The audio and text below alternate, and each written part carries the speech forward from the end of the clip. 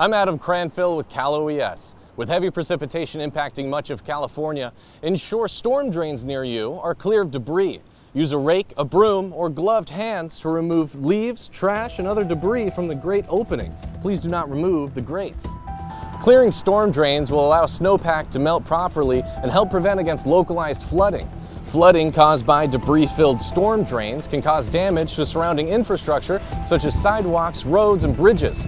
Blocked storm drains will channel water into unusual areas, increasing risk of mud and rock slides.